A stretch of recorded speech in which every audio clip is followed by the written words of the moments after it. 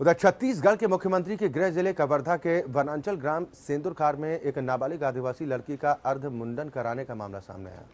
गाँव के दबंगों ने इस घटना को अंजाम दिया है। नाबालिग लड़की के साथ सामाजिक नियमों का हवाला देते हुए करतूत की गई।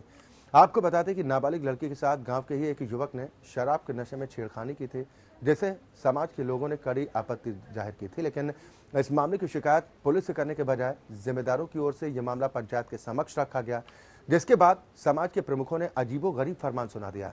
समाज के प्रमुख लोगों ने छेड़छाड़ के आरोपी युवक को सजा देने के बजाय खुद पीड़ित लड़की का चाल चलन ठीक न होने का हवाला दिया।